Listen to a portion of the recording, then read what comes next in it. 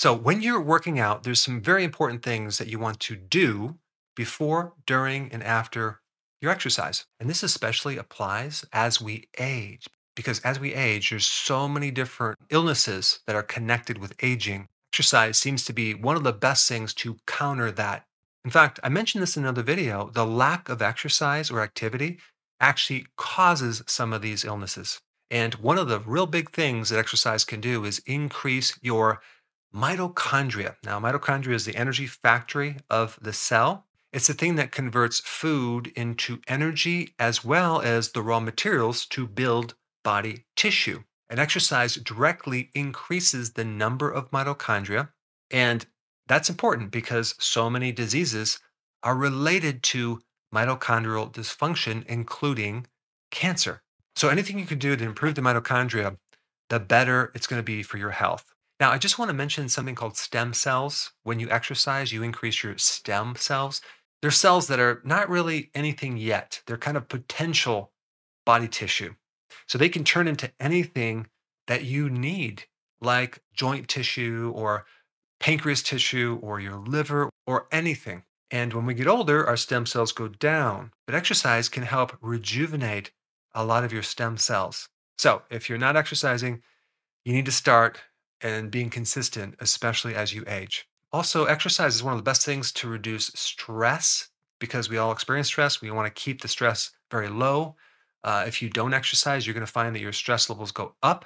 Exercise will also help sleep, blood sugars. There's just many, many benefits. So, the first point about exercise I want to bring up is the four variables to exercise. Really, exercise consists of four things. One is the duration of exercise, how long you go. Two is the intensity of your exercise. Three is the recovery after the exercise. And four is just the frequency of how many times you do that for a given workout or how many workouts you do for a given week. So, all the different types of exercises that are out there are really just a combination of these four things. The first thing I'm going to talk about is the recovery, okay? The rest.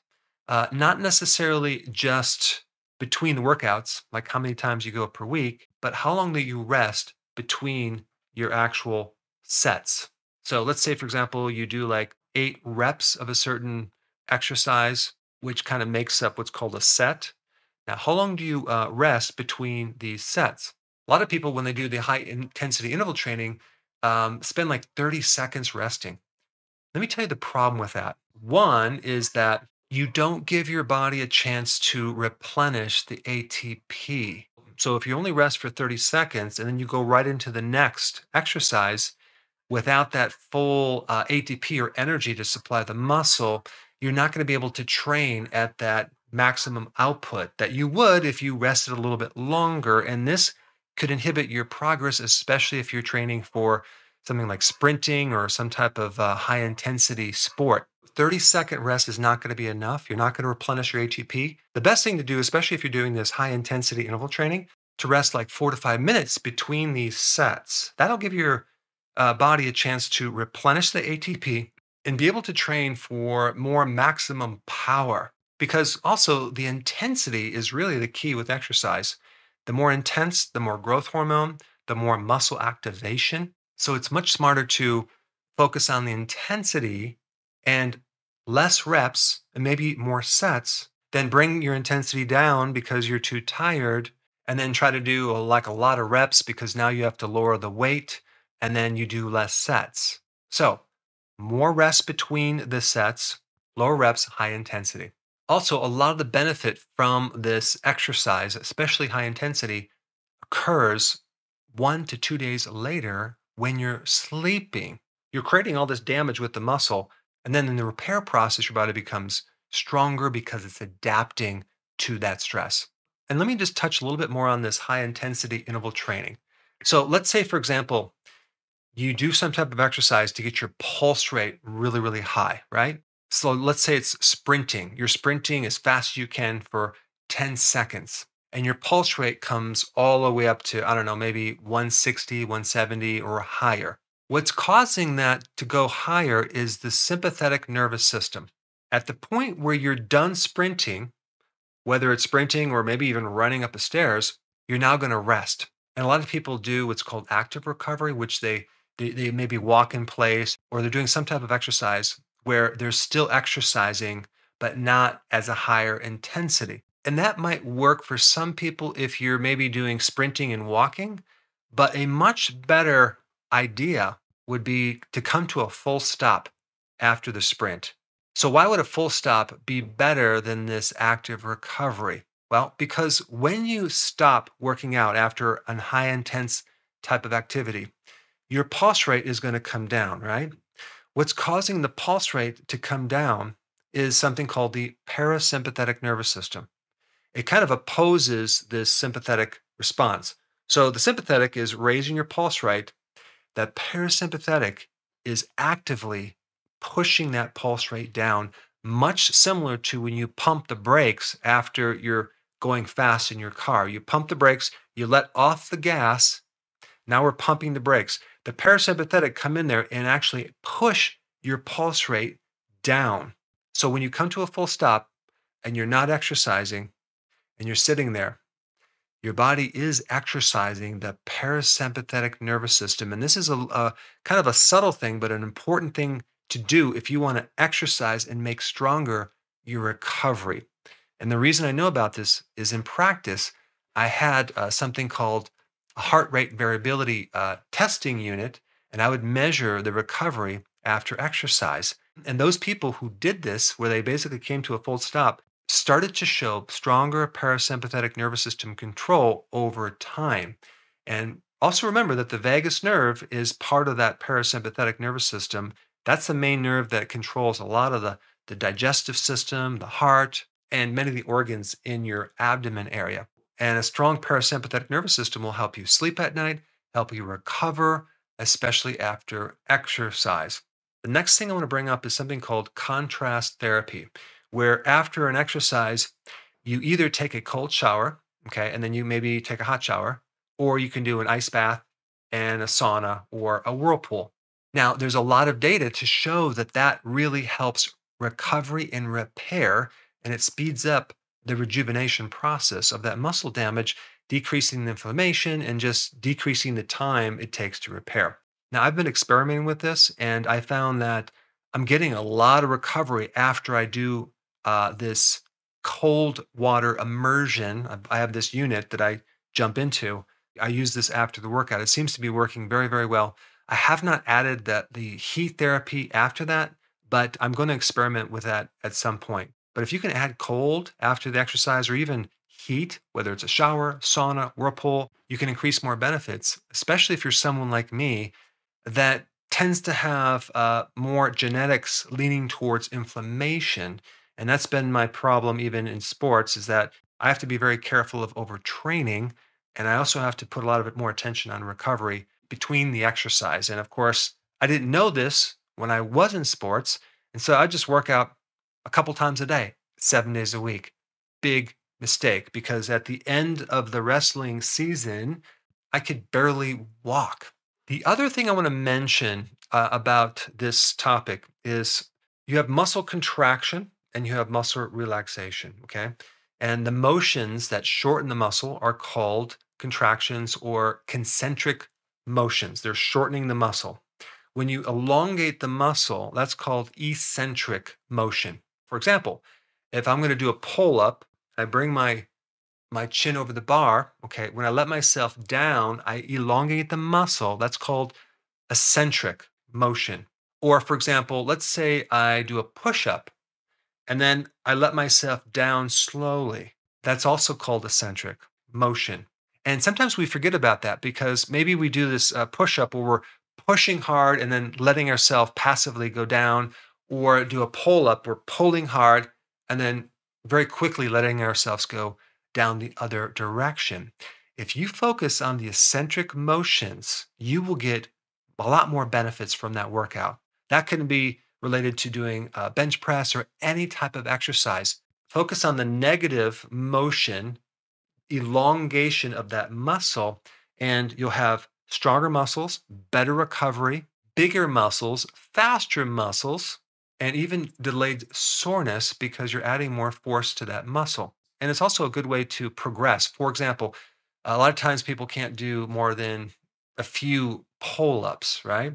If you were to get some type of step stool and stand on the step stool and help your body lift up with that pull up and then focus on slowly letting yourself down the eccentric muscles, and you do that, after a while, probably two or three weeks, you're going to find that you're going to be able to do way more pull ups because you worked on the reverse motion of that. Next topic is about carbohydrates. If you do a workout and you do a little snack before, during, or after the workout, like a lot of people do, they want to get those carbs in there. Maybe they do a protein bar with sugar, or they might do an energy drink, Gatorade with sugar. You're shutting down the benefits of you know ketosis, fat burning, as well as autophagy, which is the recycling of old damaged proteins in your body, the kind of the anti-aging effect. So here you are spending all this energy doing this workout, and then this little bit of carb pretty much just nullifies the benefits, especially if you are trying to lose weight around the midsection. It's very beneficial to build up to the point where you exercise in a fasting state. Maybe eat the next hour or hour and a half or two hours later. That would actually give you more improvements. Now, that being said, when we're dealing with hormones, insulin always comes up when people work out. And we're told that insulin will help, it's an anabolic hormone, it helps build up muscle. The research is mixed on that. Kind of on uh, some studies, it says it does, other studies, it says it doesn't. But I do know that it does affect the muscle and the uh, ability for proteins or amino acids to go in the muscle, and it preserves the muscle from losing uh, protein. So, what do we want to do? Do we want to increase insulin or not? Well, when someone's a diabetic or they consume a lot of carbs, they have insulin resistance.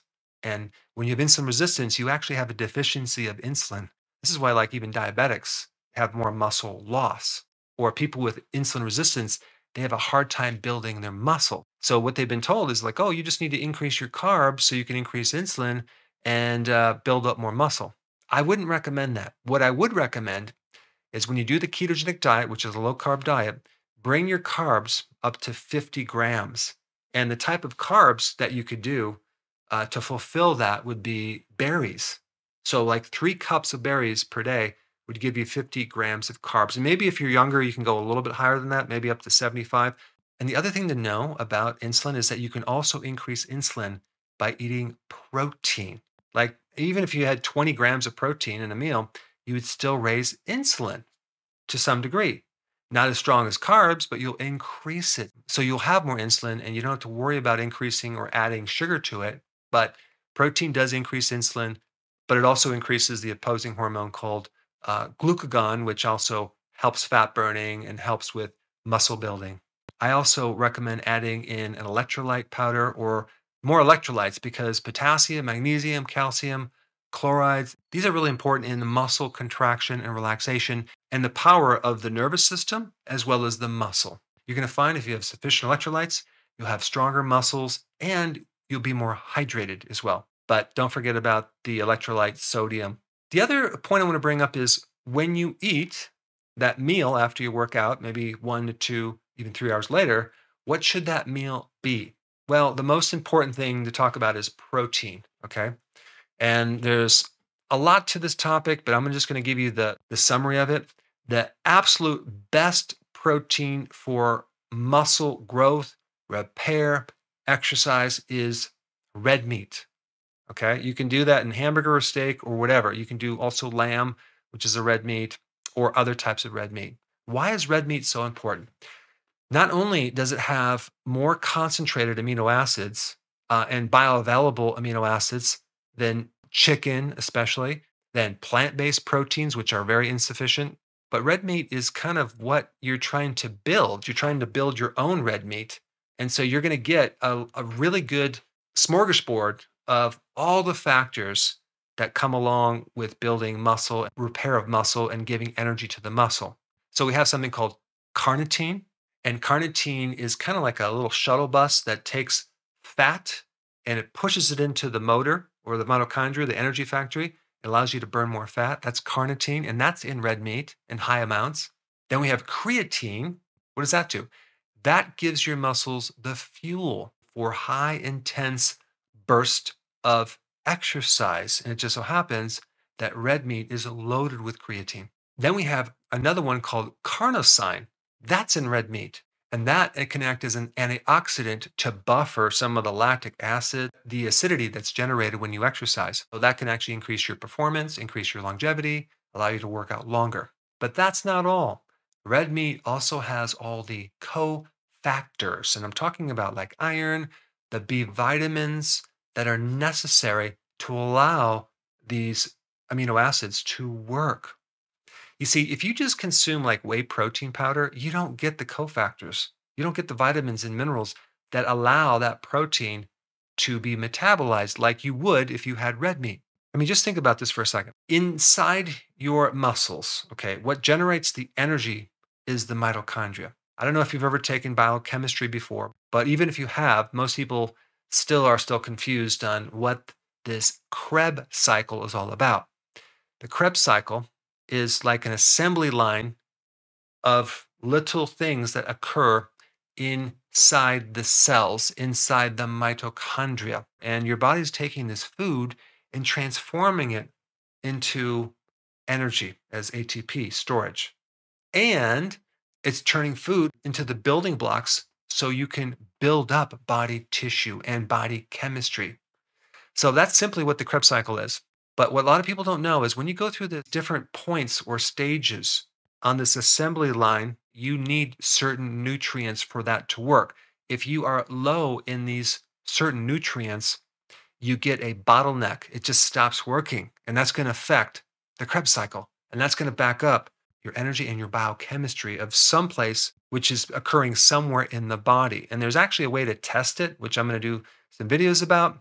But the point is, you want this entire assembly line to be free flowing without any micronutrients missing.